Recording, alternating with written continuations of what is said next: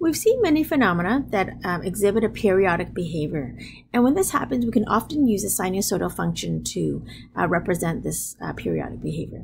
So in this video, what I'm going to show you is then how to use equations and graphs and see how they're related to solve an equation. So to start off, let's take a look at 4 sine squared x minus 3. And what I'm going to do is we're going to solve this algebraically first. So I'm going to write this over here. So to solve, I need to isolate my sine squared x first.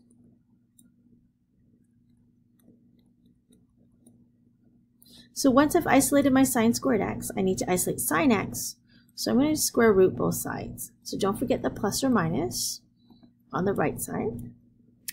And I get root 3 divided by 2. And that kind of should trigger in your memory go, hey, I've seen this before, and I can actually get um, exact values for the angles. So I'm going to draw my axes, and I'm going to place the angle in the first quadrant, draw my triangle, and since the root 3 is my opposite and my hypotenuse is 2, I'm going to place root 3 over 2 here, which therefore triggers to me that this side must be 1. And the special triangle that corresponds to this gives me an angle down here of pi over 3. So therefore, my reference angle is pi over 3. So now what I need to do is, because it's plus or minus, that means there's an, actually an angle in every single quadrant. So let's first find the second quadrant angle. So this goes from standard position to the second quadrant. And the reference angle here is also pi over 3. So to find the angle in the second quadrant, I need to take pi minus pi over 3, and that will give me 2 pi over 3. Okay, let's find the angle in the third quadrant.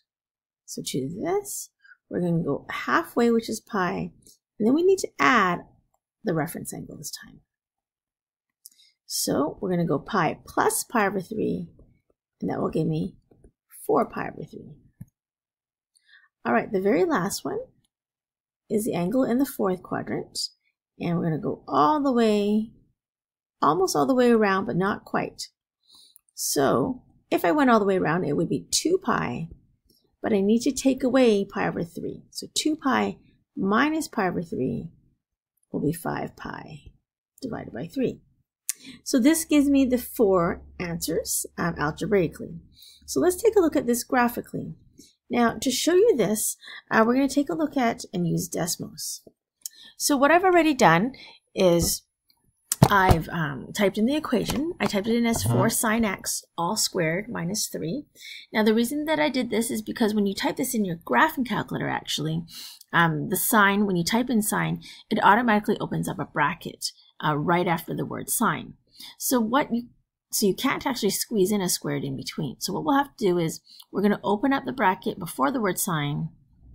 Um, it'll open up another bracket, type in x, close the two brackets, and then type in the squared, and then the minus 3 after. Now I'm going to actually show you that this is actually the same as writing it out as 4 sine squared, oops, x and that's 4 sine squared x, and then when we minus 3 is going to bring me down to the same graph. So you can see that sine x all squared and sine squared x are actually the same thing. So the notation that we tend to use is actually the sine squared x when we write it out, as opposed to putting the bracket. So that just kind of saves us a little bit of time. All right, now to see that we can match the answers that we got algebraically, um, I'm going to go to my wrench and I'm going to adjust my x domain or my domain to be from 0. And I'm going to, instead of 10, I'm going to make it 2 pi. And you can do this on your graphing calculator as well. So this will be 2 pi.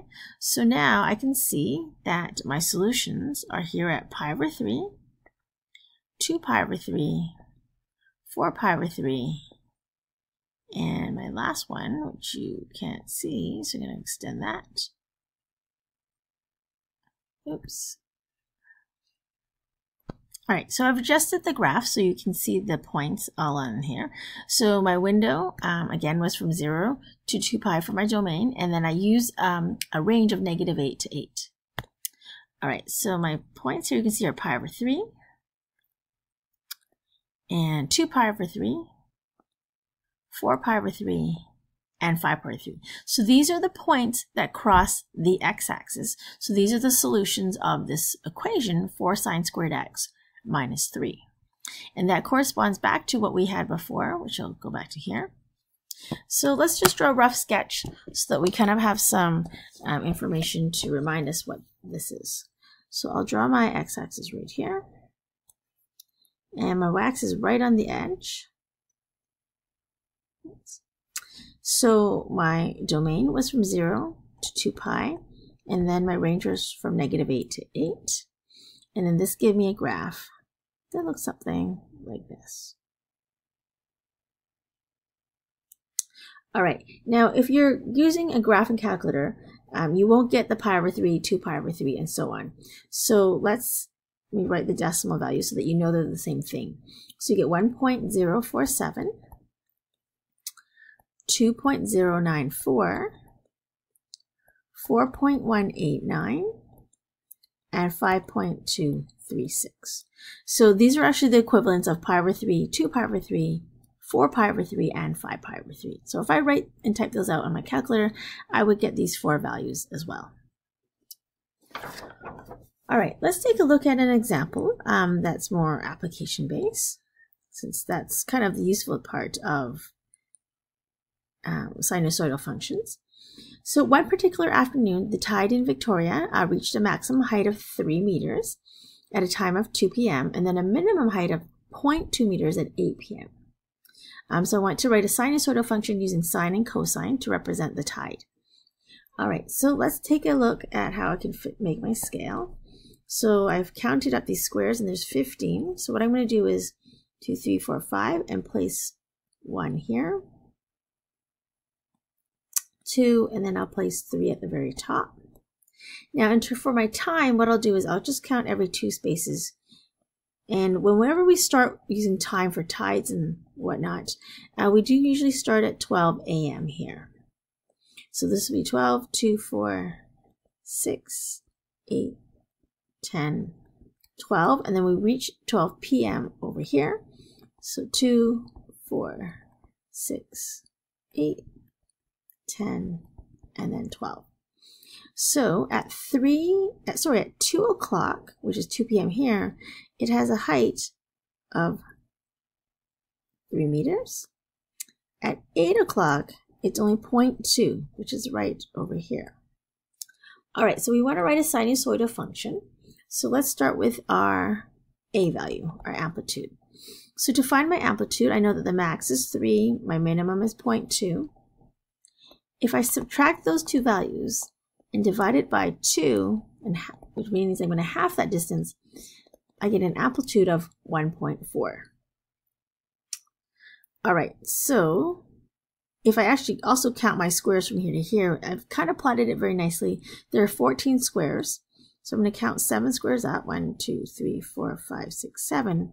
And then halfway between here and here is three squares because there's a total of six squares from two to eight. So half is 3. So can now actually have these three points. I can actually plot more because this doesn't give me enough information here. So every three squares, I'm able to plot a point. So one, two, three. There's a point as the max. One, two, three. I'm going to plot it right in the middle on my midline. One, two, three. This will be back down to my minimum. One, two, three. Back to my midline. One, two, three. Back up to the top one, two, three, and then back to the midline. So graphing this,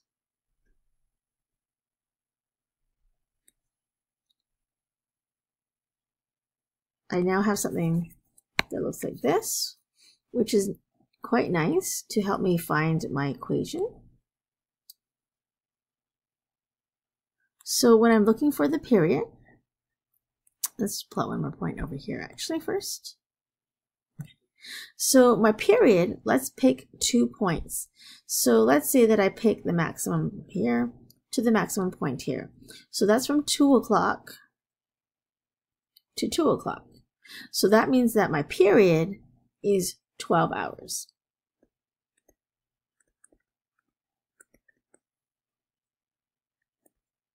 Now, the other way you could have done this without drawing the graph is that you can see that the time from the max to the min is 2 o'clock to 8 o'clock, which means that it's 6 hours. That's going to be half of our period. So then if I times by 2, this would actually give me the 12. All right, now the period is 12, so the b value is going to be 2 pi divided by the period to give me pi divided by 6. All right, now the C value is our phase shift. And when I take a look at for sine, the minimum phase shift would be to go back negative 1. So this is for sine. And the C value for cos, I'm going to pick this point up at the very top, and that has a phase shift of positive 2. Okay, last is my vertical displacement, my D. So I can see that this is 1 and then 1.2 because every square represents 0.2, 1.2, 1.4, and 1.6. You can also think of taking this as 0.2 as my minimum point and then adding the amplitude. And that will give you the 1.6. All right, so my two equations are y equals 1.4 sine pi over 6 x. My phase shift is negative 1 backwards, so it's going to be plus 1. Close my bracket, and then plus 1.6 for my vertical displacement. And the cos one will be very similar, except my phase shift will be x minus 2 because it's moving to the right of what it normally is. All right, so to finish off, um, at what time is the tide first at a height of 1 meter? So what I want to do is the y actually represents my height. So I'm going to show you how to calculate this algebraically. So we're going to place the 1 here.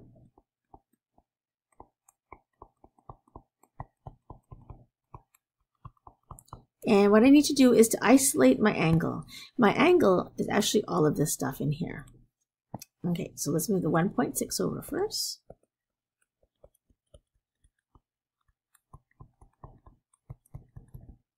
And divide.